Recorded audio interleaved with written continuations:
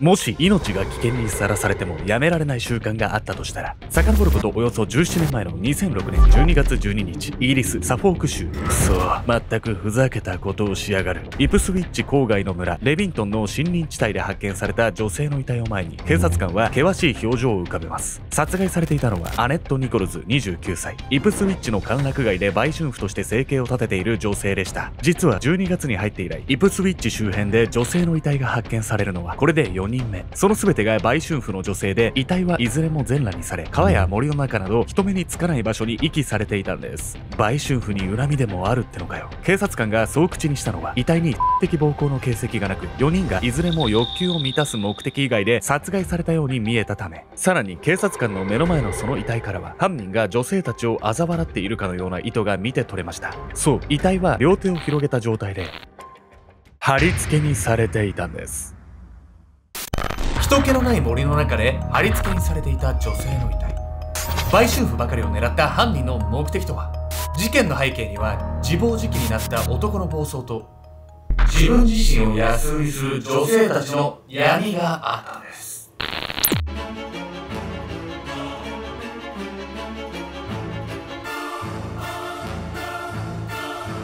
おそっす。ちょっとリバウンドしちゃったケンちゃんです。あす、あす、やみこです。ちょっとねリバウンドしちゃいましたわ本当に？カレーとかハンバーグとか食べてたら普通に太るよハイカロリーの代名詞みたいなものばっか食ってるわね。うんでもちょっと私も最近気になるっちゃ気になるんでね。そうなんです全然美しいですよちょっとスリムにならない。本日ご紹介するのはイギリス・イプスウィッチで起こった連続殺人事件なんです。売春婦を狙ってるんですけど、なんと10日間の間に5人もの命が奪われてしまったんです。そういう職種の方ばっかり狙ってるってことは、なんか性的な目的とかあったってことかしらね。それが性的な目的一切ないんです。うん今回売春婦ばかりが狙われたその理由、イギリスが抱えているある社会問題に起因するんです。まずは遺体が発見されるところから見ていきたいんですけど、発見された遺体、まるで犯人がもてあそんでいるかのような狡猾さも見えてくるんです。女性を狙う影遡ることおよそ17年前の2006年12月10日イギリスサフォーク州のイプスウィッチ。今回の連続殺人事件についてあなたはどう感じていますか？そう言ってリポーターがマイクを向けたのは胸元の開いた服を着たセクシーな女性。彼女は不安げな表情を浮かべながらこう答えます。客の車に乗るときは気をつけるようにしてるわ。怖いけど仕方ないもの。インタビューの内容はこの数日イプスウィッチ周辺で起こっていた連続殺人事件について。12月2日から10日までの9日間でこの町の周辺で3人の女性の遺体が発見されていたんです。狙われたのはいずれも歓楽街で売春婦として働いていた女性。警察によって女性はイプスウィッチ周辺に近づかないようにという警告まで出される事態となっていました。しかし売春婦の女性たちも貴重な収入源を絶やすわけにはいかず多くの女性が怯えながらも街へ働きにやってくる状況が続いていたんです。お客さんありきの仕事だからさ、簡単には休めないわよね。そうなんですよ、うん。警告をね無視して働きに出てくる女性もいるんですよ。なので被害はさらに広がっていってしまう短期間に3人もの命を奪った犯人は大胆に犯行を繰り返す一方で現場に証拠を残さない狡猾さも持ち合わせていました。特に発見された遺体のうち2人のものは1ヶ月近く川の中に放置されており腐敗した結果死因の特定すら困難な状態でした。また犯人は売春客を装って犯行に及んだと考えられましたが奇妙なことに狙われた女性にはいずれも的暴行の形跡が見られなかったんです。なかなか尻尾をつかませない犯人像と目的の見えないその犯行内容にイプスウィッチの女性たちはより一層恐怖心を抱くようになっていました。そして街頭インタビューが行われた2日後の12月12日。この日はなんと同日に2人の女性の遺体が発見されます。そのうちの1人はアネット・ニコルズという29歳の女性のもの。現場を訪れた警察官はその遺体の様子に眉を潜めていました。くそ一体どういうつもりだ？見せしめみたいなことをしやがって。考察されたとみられるアネットの遺体は全裸にされ両手を広げた状態で木に貼り付けにされていたんです。これはつい2日前アネリ・アルダートンという女性の遺体が発見された時と全く同じ状態でした。貼り付けって何よ、もう殺してやったってかなり主張してるみたいじゃないの？なんか警察を挑発してる感じもしますよねうん。さらにこの後ね発見された遺体が世間を騒然とさせるんです。4人目の被害者アネットと同日に発見された5人目の遺体はポーラ・クレンネルという24歳の女性のもの。彼女もまたアネットと同じく首を絞められ殺害されていました。そしてメディアが彼女の顔写真を報道すると同時にイプスウィッチ市民は皆一様に驚きの声を上げます。ねえこの人ってそう。なんと遺体となって発見されたポーラはこの2日前。街頭インタビューに答えていた女性だったんです客の車に乗るときは気をつけるようにしてるわ。怖いけど仕方ないもの。彼女はリポーターにそう答え、仕事に向かったその日のうちに行方がわからなくなっていたんです。このようにしながら、矢継ぎ早に繰り返される連続殺人に危機感を募らせた警察は、当時として最大規模の捜査を展開することを決定。捜査員を約650人動員したこの作戦は、コードネーム、オペレーションスマックと名付けられました。あれね、オペレーションなんたらって、スパイファミリーでも出てくる。 Operation Strix ね。コードネームはアニメや映画の世界だけではなくね、実際の世界でも使われてたりするんです。うんというわけで本日のメトラキーワード、コードネームについて。コードネームとは国家組織やスパイ組織などが用いる極秘の作戦名のこと。極秘の作戦においては作戦名からその内容が推測されないよう内部の人間にしか意味が通じない名称が用いられるケースが多いんです。コードネームはただ作戦内容が外部に分からなければいいというわけではなく各国でそれぞれガイドラインが設けられています。例えばアメリカならモラルを欠いた言葉を用いない2つ以上の単語を使用するなどこれらは作戦にネガティブなイメージがつくのを防ぐためのものなんです。アメリカのコードネームで代表的なものには湾岸戦争の際の Operation Desert Storm、砂漠の嵐作戦、アフガニスタン侵攻の際の Operation Enduring Freedom、不朽の自由作戦などがあります。こう聞くとさ、今回の事件もどれだけ大事になったのかっていうのが実感が湧いてくるわね。そうなんです。今回のね、 Operation Smack っていうのもかなり大規模な作戦だったんです。そしてこの作戦の甲斐もあって、狡猾に証拠隠滅を図っていた犯人もいち早く特定されたんです。隠し続けた闇。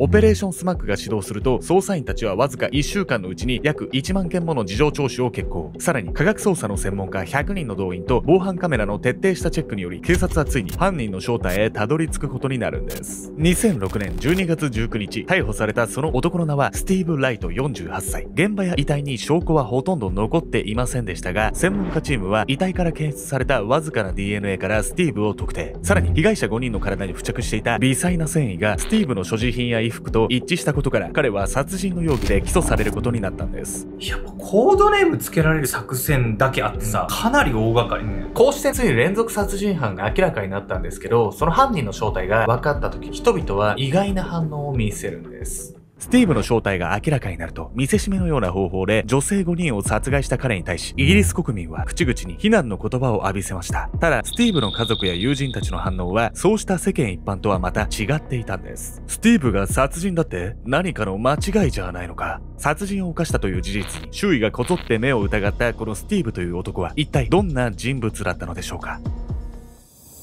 1958年、スティーブはイギリスノーフォーク州の田舎村アーピンガムで生まれます。父親はイギリス空軍の軍事警察、海外へ赴任することも多く、スティーブも幼少からマルタやシンガポールなど多数の国を家族と共に転々としていました。そのため、環境こそ頻繁に変わるものの、生活に不自由することはなく、一家は至って穏やかに暮らしていたんです。しかし、スティーブが8歳になる頃、両親が離婚。ここから彼の人生は大きく狂っていくことになるんです。スティーブ、食べ終わったらお皿を下げてくれる？夕食の後、スティーブにそう投げかけたのは、父親が再婚したばかりの継母。継母に促されたスティーブは、彼女に返事をすることもなく、食べ終えた食器だけを片付けると、そそくさと自分の部屋へ閉じこもってしまうんです。おとなしくていい子だけど、どう接したらいいのかしら？継母は、自室へ戻っていくスティーブの後ろ姿を見ながら、ため息混じりにつぶやきます。そう、実母と離れて暮らすようになって以来、スティーブは家族のコミュニケーションが減り、一人で塞ぎ込むようになっていました。ただし、継母との関係が悪いわけではなく、スティーブが変わってしまったその原因は父親にあったと言います。軍人だったスティーブの父親は非常に厳格な性格で、事あるごとにスティーブを叱りつけていました。そうした場面に際し、スティーブが落ち込みすぎないようにフォローするのはいつも実の母の役目でした。両親が離婚したことで、そのしつけのバランスが崩れてしまったんです。確かに子供にとっては辛いことなのかもしれないけど、うんお父さんがすごい厳しいっていうのはね。うん。これで性格が歪んだとかって、それ言い訳にはなんないわよ。まあそうっすよね、うん親のしつけが厳しいなんてのはめちゃくちゃあるんで、うん世の中には。だからといって何をしていいってわけでもないじゃないですか。うんこの問題の本質っていうのは、スティーブが厳しいしつけから逃げてしまったことなんです。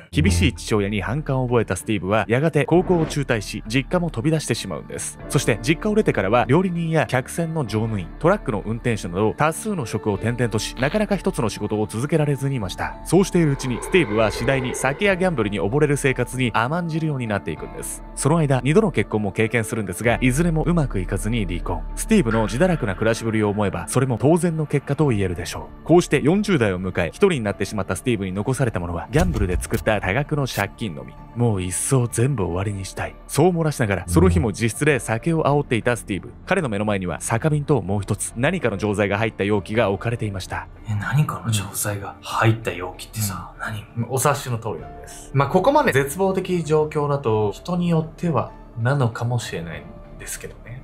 スティーブは錠剤の容器を持ち上げると、その中身を口の中へ一気に放り込みます。そう、スティーブはこの時、過量服薬で自殺を図ったんです。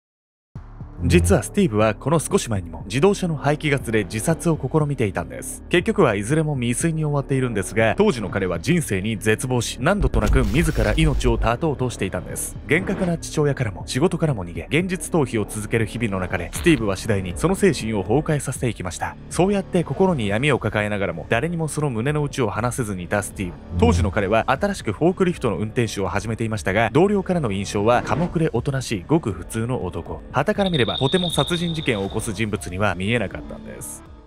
なるほどね。周りから見たらただのおとなしい男に見えてたけど、実はかなり心が病んじゃってたってことなんだっていうのは分かったわよ。分かったけど、そこからなんで売春婦さんだけを選んで殺すのかっていうところが分からない。まあ、動機は語られていないんですよ、うん実は。なので断言はできないんですけれども、うん何も成し遂げられない絶望した人生の中で、殺人っていうのが承認欲求を満たす行いの一つだったのかもしれないですよね。うんそしてね、売春婦を特に狙ったっていうのは、彼女たちに特別何か恨みがあったわけではなく、イギリスの社会事情的に彼女たちを狙いやすかったっていうのがあったんじゃないかってことなんです。一体どういうことなのか。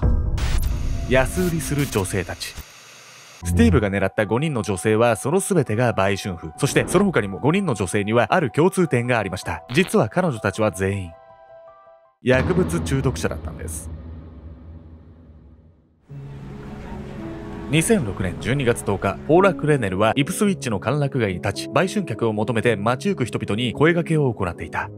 お兄さん、1回80ユーロでどう？お店に行くよりずっと安いんだから。イプスウィッチの路上で客を探している売春婦のサービス料は日本円にして約1万円。ポーラは風俗店の半額ほどの値段で見知らぬ男に身を預けていた。早く、早く薬を買うお金が欲しい。そう、ポーラは違法薬物を購入するため、一刻も早くお金を稼ぐ必要があった。しかし、薬物中毒の彼女には就職口もなく、風俗店で働くにも店からいい顔をされない。ポーラに残された方法は、街頭に立って自分の体を安売りすることだけだったのだ。そうやって必死に客を探していた彼女に、その男はゆっくりと歩み寄った。すいません、これからお願いしてもいいですか？一見おとなしそうに見えるその男はいともたやすく、ポーラを自身の車の中に連れ込んだ。客の車に乗るときは気をつけるようにしてるわ。怖いけど仕方ないもの。違法薬物のことで頭がいっぱいだったポーラは、つい数時間前の街頭インタビューで話した内容などとっくに忘れ去っていた。実はイギリスの売春婦はその約95%が違法薬物を使用した経験があるとされています。街頭に立ち破格の値段で客を探す彼女たちはほとんどが薬物購入のために自分の体を売っているんです。いち早くお金を手に入れたい彼女たちを車の中へ連れ込むことは造作もありません。イプスウィッチの売春婦たちはスティーブにとって誰にも怪しまれずに殺人を犯すための格好の標的だったんです。売春婦さんのその95%が薬物使ってるってさ、法律もクソもないじゃない。そうなんですよ。だから警察がいくら取り締まっても手に負えない状況なんです。逮捕から約1年後の2008年2月21日、スティーブに下された判決は仮釈放なしの終身刑。もはや疑いようもない証拠が揃っている状況にありながらも、スティーブは未だに罪を認めておらず、合計3回の控訴を行っています。また、事件の影響を受け、政府は2009年に売春に関する法律を改定。売春に関与している人に対し、その道から抜け出すための支援の場を設けることを示す関与支援命令の項目が新たに追加されました。目先のお金を求め、命すら顧みない女性が溢れるイギリスの売春市場。今後の社会の改善で、その悪しき風潮が撲滅されていくことを願ってやみません。